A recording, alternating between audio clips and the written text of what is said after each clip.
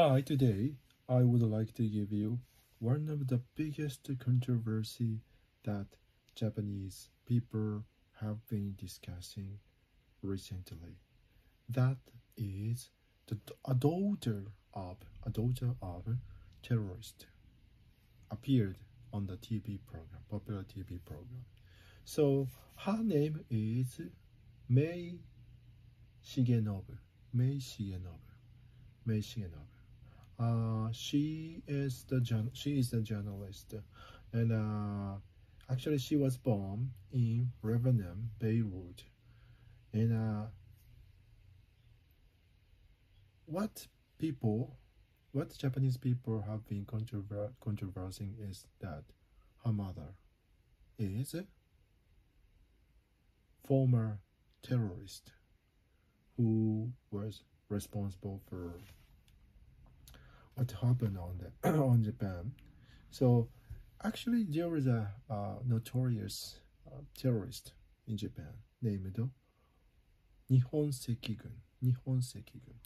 Actually, I'm not super familiar with who they are and uh, what they have done, what they did. And then actually, the leader of the Nihon Sekigun, the terrorist, notorious terrorist, Japanese terrorist, the, her mother was leader of the Japan this Nihon Sekigun, Shigenobu Fusako, Fusako Shigenobu. So this presenter uh, was is a daughter of the leader of the former terrorist group in Japan. And she actually appeared on the TV program, uh, TV program a news, news information TV program as one of the commentator on October 11th.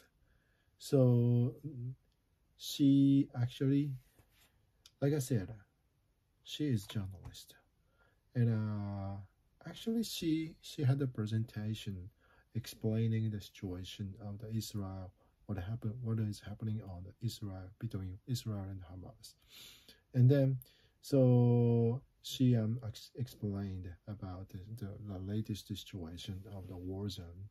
And uh, actually, she said, uh, like, you know, uh, appropriate comment. So the presentation was really, really good. And uh, people actually didn't know who she is. And then actually, some people responded, you know, there's nothing to nothing related to herself herself because you know what her mother was was what what her mother did was nothing related to her. So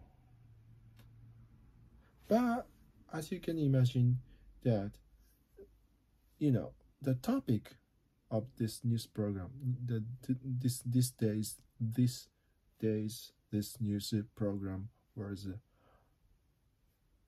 conflict between Israel and um, Hamas and the uh, latest severe situation of Israel-Palestine situation. So people actually people have been questioning regarding the regarding if she was appropriate or not maybe maybe another topic. Nothing related to that israel. It, it was okay. However the topic was really really insensitive and uh, you know the most controversial. And uh, as you can imagine uh, i don't know the, the, the something related something may be related to the terrorism. So